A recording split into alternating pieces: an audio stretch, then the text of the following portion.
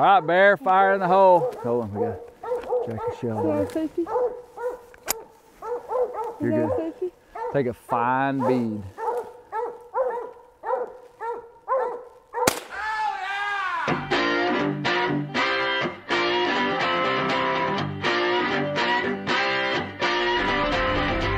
People are striving to find meaning, value, substance, satisfaction inside their life. And they look to social media and see somebody and they're like, man, I want to be like that guy.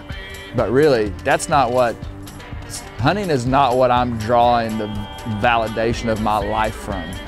My hunting is an extension and a symptom of a life that's built in a certain way over here.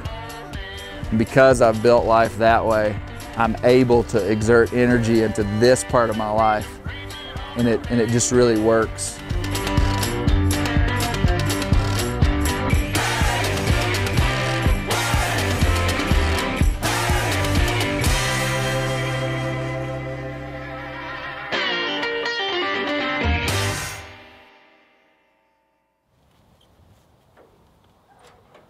Clay Newcomb is probably the most goal oriented and focus driven person I've dealt with in this industry. It's like Robert Frost, Aldo Leopold, and Andy Griffith had a baby and they named it Clay Newcomb. Who you talking to, pup? Who you talking to, pup? I always like to pick up her feet every time I do this. When you can pick up an animal's feet, you know that he trusts you. I saw advertised this young mule that was 18 months old and pretty much untouched. He called me, he says, man, I'm, I'm, I'm gonna get a mule. I'm like, why, why would you do that, Clay? And why invite something into your home that you're gonna feed and take care of that could kill you? She just caught my eye. I'd never trained a mule before. I'd never thought I could train a mule. Had no reason to think that I could. But when I saw her, I was just like, I'd like to buy that mule and train it.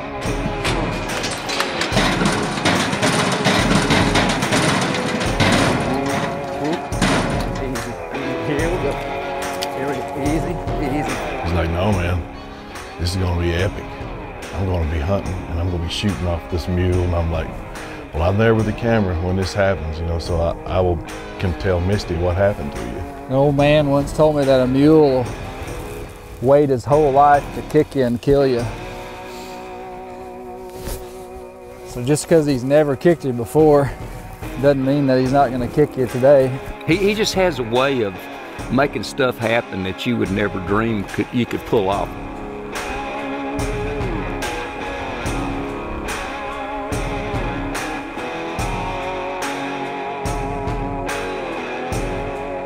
When I first decided to try to shoot a deer off Izzy's back, I called the landowner and I said, hey man, can you keep a secret? To me, that's just a fun goal that I can, that, that just gives me something to shoot for that's a challenge.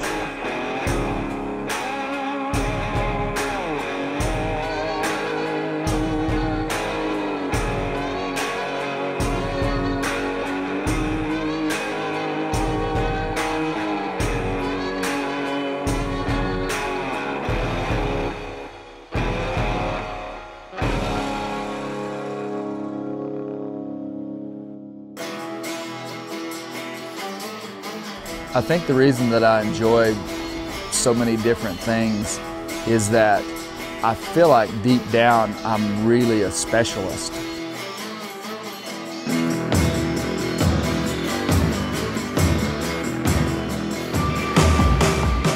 Hey man, it was in my dad and it's in me. Uh, it's not like what Clay has. Clay gets up early, stays up late, doesn't need a lot of sleep, climbs mountains. You know, he he's just tough as a boot and you know, he can run up a mountain. That mountain he hunts, I hunted it for years and you know, it was a chore. And he doesn't think much about it. He just goes up it, you know.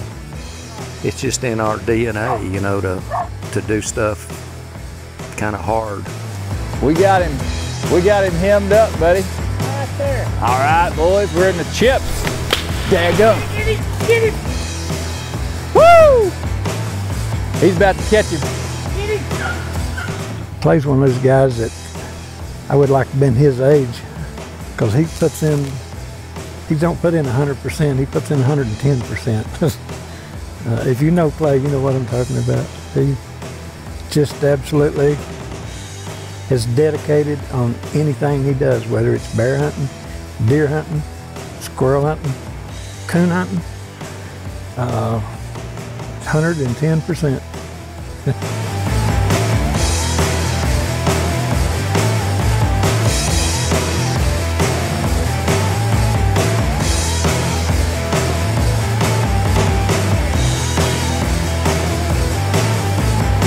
double battered, fried, bear oil squirrel.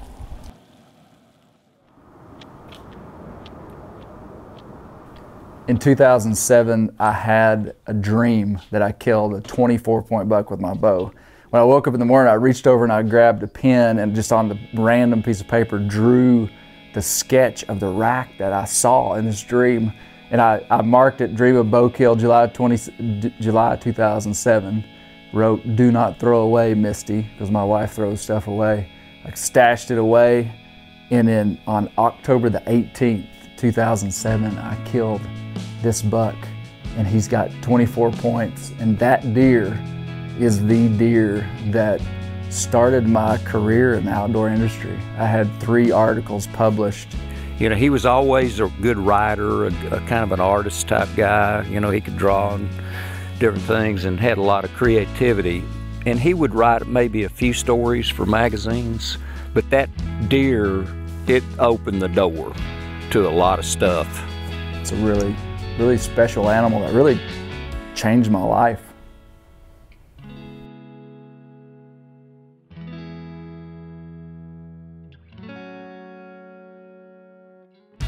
Growing up a whitetail hunter, bear hunting wasn't even on the radar. Like when I was a kid, the thought of killing a bear was just like a pipe dream. Like nobody did it consistently in our region. Little did I know that that, that first morning of Arkansas bear hunting would really change the course of my life. The bear thing grew inside of me. And in 2010, I started the Arkansas Black Bear Association, which at the time was a hunting conservation organization for black bear in Arkansas. That five years later led to me acquiring Bear Hunting Magazine, which is the only print bear hunting magazine in the world. And from that, the, the, the floodgates of opportunity opened for me to really hunt bears all over North America. And that's what I've done extensively the last five years. Hey, Bear.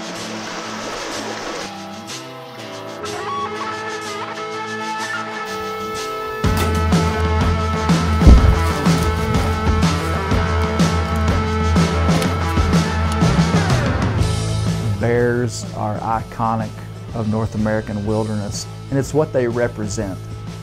Deep down, deep down, really what I want as a hunter is to interact with wild places. I thought he was going to get in this bind with us. The passion for for bears and, and bear hunting and that whole culture, yeah, he just exudes it. it's, it's not enough just to go hike there. It's not enough to take a picture there. I want to I want to interact with it. I want to bring it home. I want to be able to share it with my family. And so when I see a bear hide on the wall, when we cook a bear steak, it's my way of sharing that wildness and being a part of it.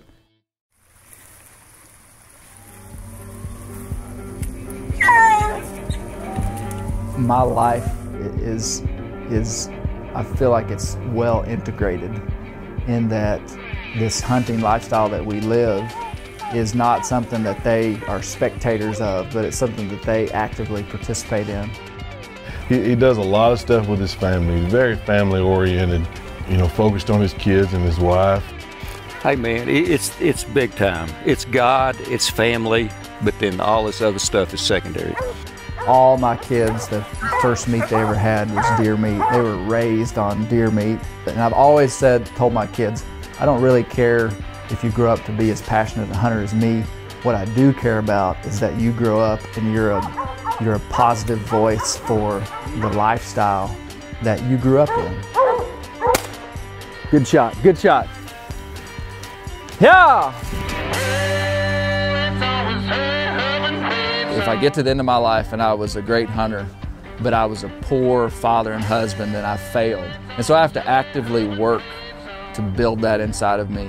Struggle with sometimes, even with social media and stuff, is that you put this image of yourself out, you know, this image, and you're taking the highlights, the ultimate highlights, and you're putting it out there, and people perceive you as that, but really you're something totally different, not in a not in a deceitful way, but I mean, well, I'm way, spend way more time being a husband and a father and working in my business than I do riding mules and, you know, hunting bears.